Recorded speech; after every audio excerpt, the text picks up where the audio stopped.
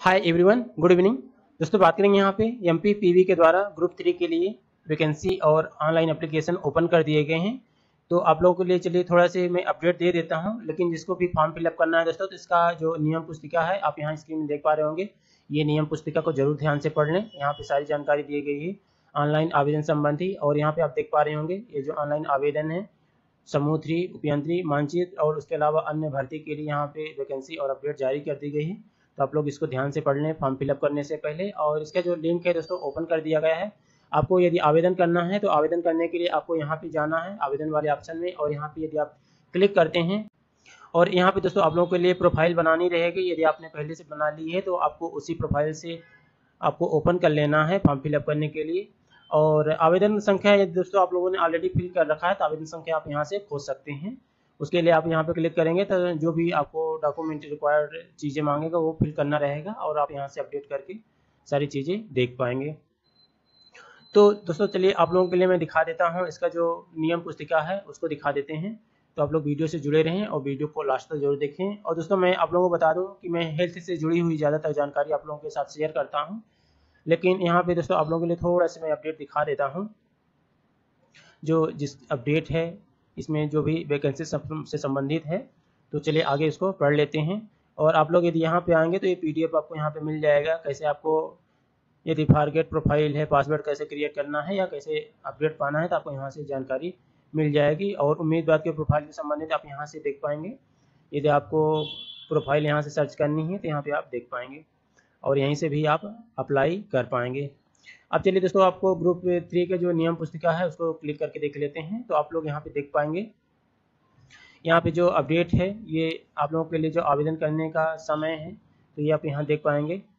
आवेदन भरने की जो तिथि है डेट है, आप यहाँ देख पाएँगे। कल से शुरू हो जाएगा। एक आठ दो हज़ार बाईस से, और यहाँ पे दोस्तों जो लास्ट डेट रहेगी, सोलह आठ दो हज़ार बाईस तक रहेगी।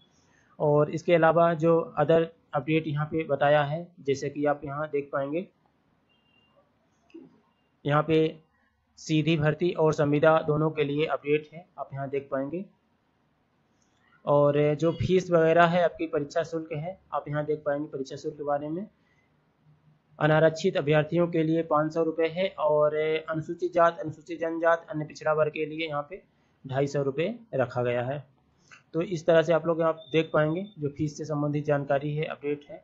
आपको यहाँ से दिख जाएगी। और यदि आप फॉर्म फिल करना चाहते हैं तो इसको ज़रूर पढ़ लें दोस्तों। ये 91 पेज की नियम पुस्तिका है। तो एक बार ज़रूर आपके ज़रूरी ज़रूरी जो भी मैटर है, उसको पढ़ लें, ताकि आपको फिल फॉर्म फिल करते समय कोई प्रॉब्लम ना हो और आप लोग सभी जानकारी अच्छे से फिल कर पाएँ। उसके अलावा यहाँ पे परीक्षा का जो समय है, ये भी बता दिया गया है। आप लोग देख पा रहे होंगे। परीक्षा संबंधी जानकारी है और उसके अलावा उत्तर अंकित और, प्रारंभ तिथि ये सारी चीज़ें यहाँ पे है अपडेट है। अभ्यर्थियों के लिए रिपोर्टिंग टाइम महत्वपूर्ण निर्देश पढ़ने के लिए समय, ये सारी चीज़ें हैं। और आपको जैसे अभ्यर्थी को पंजीयन करना है तो आपके पास में आधार अवश्य होना चाहिए। आप यहाँ देख पाएँगे आधार के लिए। और उसके अलावा कुछ अदर अपडेट जानकारी आपसे मांगी जाएगी तो इसको आप लोग पढ़ सकते हैं वन बाई वन करके। और दोस्तों, ये अपडेट जो है, जैसा कि आपको बताया कि 91 पेज का है तो आप कुल इसको देख पाएँगे। सारी अपडेट इसके अंदर बताई गई है। अब ये है आपका विषय सूची। अब विषय सूची के अंदर दोस्तों, आप यहाँ देखेंगे तो टोटल 90 पेज की है। आप यहाँ से शुरू करेंगे, चार से इक्कीस एक नंबर पे है, उसी तरह से आप वन बाई वन करके यहाँ पे देख पाएँगे। टोटल 91 पेज का ये अपडेट है इसके अंतर्गत। और यहाँ पे जो सारी जानकारी है, संक्षिप्त नाम और प्रारंभ, ये सारी चीज़ें यहाँ पे दे दी गई है। तो इसको आप लोगों को देख लेना है फॉर्म फिल करने से पहले। और यहाँ पे दोस्तों, सेवा समूह में पद का नाम, संवर्ग, श्रेणी, ये सारी चीज़ें बताई गई। इच्छा का आयोजन के संबंध में ये जो जानकारी है, यहाँ पे बताई गई है। और जो क्वेश्चन आपके आएँगे 200 अंक के रहेंगे टोटल आपके विषय से संबंधित 100 नंबर के और उसके अलावा सामान्य ज्ञान, सामान्य हिंदी, सामान्य अंग्रेज़ी, सामान्य गणित, तार्किक, सामान्य विज्ञान और कंप्यूटर ज्ञान। इस तरह से ये क्वेश्चन यहाँ पे आएँगे इसको आप लोगों को पढ़ लेना है। और उसके अलावा बहुत सारे नियम एवं कानून इसके संबंधित बने हुए हैं। और आपकी जो एज से संबंधित जानकारी है 18 से 40 वर्ष यहाँ पे रखी गई है। और यहाँ पे बताया है, मध्य प्रदेश की अस्थायी निवासी आवेदकों को प्रोत्साहन के रूप में दी जाने वाली छूटें हैं। तीन सबको आपको पढ़ लेना है। और यहाँ पे यदि आप लोग देख पाएँगे तो वीडियो पॉज करके आप लोग थोड़ा थोड़ा पढ़ सकते हैं। नहीं तो आपको डायरेक्ट क्या करना है?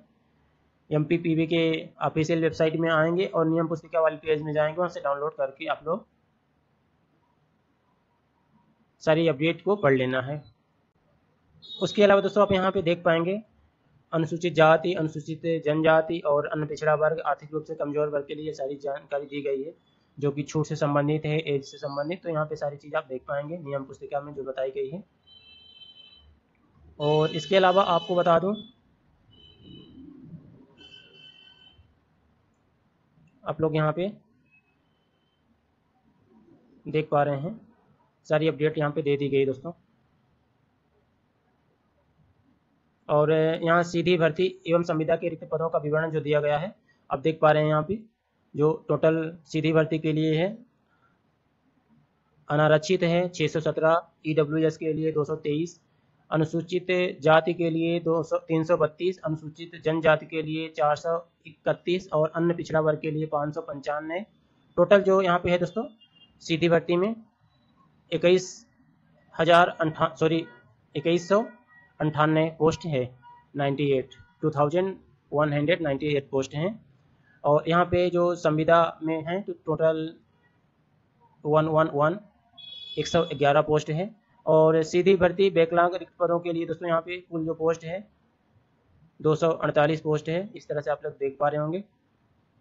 इसके अलावा और आपको दिखा दें नीचे तो यहाँ पे आप लोग देख पाएँगे जहाँ पे कितनी पोस्ट है, किस ज़िले में इतनी सारी चीज़ इसके अंतर्गत बताई गई है तो आप लोगों को यहाँ पे देख लेना है। और यदि आप फॉर्म फिल करने जा रहे हैं तो नियम पुस्तिका को ज़रूर ध्यान से पढ़ लें, क्योंकि दोस्तों नियम पुस्तिका आपको पढ़े रहेंगे तो आप लोगों को फॉर्म फिल करने में अप्लाई करने में आसानी रहेगी कि कहाँ पर अप्लाई कर सकते हैं और कहाँ पर अपने को ज़्यादा चांस है पोस्ट में। तो इस तरह से आप लोग अप्लाई करके और इसको पढ़ सकते हैं दोस्तों अप्लाई करने से पहले।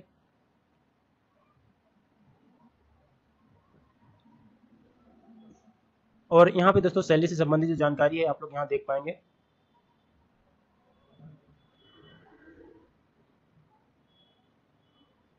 शैक्षणिक योग्यता की बात करें तो यहाँ पे न्यूनतम शैक्षणिक योग्यता जो है, सिविल इंजीनियरिंग है, तीन वर्ष की डिप्लोमा आना चाहिए और किसी मान्यता प्राप्त विश्वविद्यालय से सिविल इंजीनियरिंग के पास उपाधि डिग्री होनी चाहिए इस तरह से। उसके अलावा जो दूसरे पोस्ट के लिए भी हैं तो यहाँ पे सारी जानकारी दी गई है तो आप लोग देख लीजिएगा।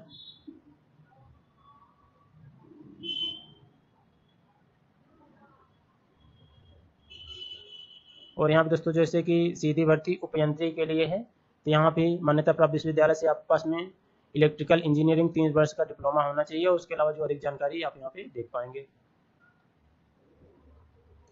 ज़्यादातर दोस्तों यहाँ पे इंजीनियरिंग वाले दोस्तों के लिए वैकेंसी है, मैकेनिकल इंजीनियर और उसके अलावा बहुत सारे पोस्ट के लिए यहाँ पे वैकेंसी निकाली गई है।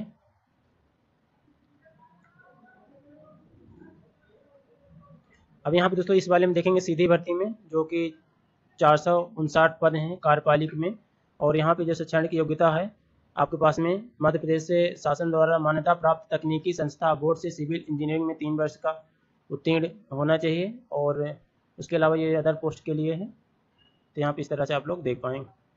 दोस्तों, कुल मिला के आप लोग देखेंगे तो बहुत यहाँ पे बड़ा अपडेट दिया गया है। आप लोग इसको पूरा पढ़ लीजिएगा।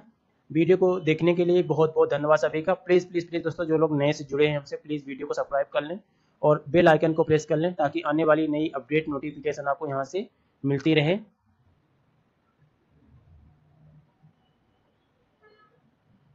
और यहाँ पे दोस्तों, सहायक प्रबंधक कागज़ के लिए एक पोस्ट है कार्यपालिक में, लेकिन यहाँ पे शैक्षणिक योग्यता, हाई स्कूल के पश्चात शासन द्वारा मान्यता प्राप्त संस्थान में पेपर टेक्नोलॉजी में तीन वर्ष का डिप्लोमा भी मांगा है।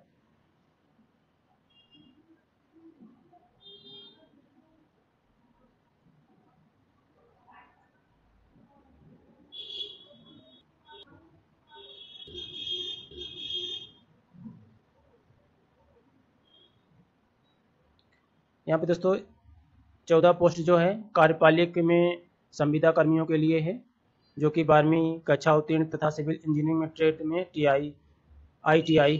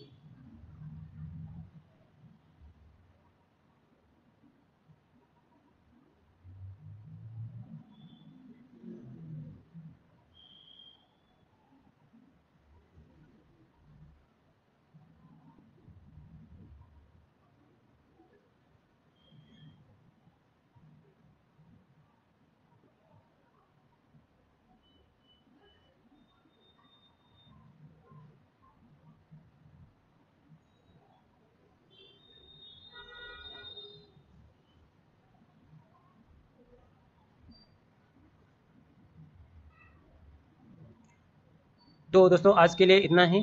मिलते हैं अगले वीडियो में। तब तक के लिए प्लीज़ प्लीज़ प्लीज़ लाइक करें शेयर करें सब्सक्राइब ज़रूर कर वीडियो को देखने के लिए बहुत बहुत धन्यवाद thank you so much all of friend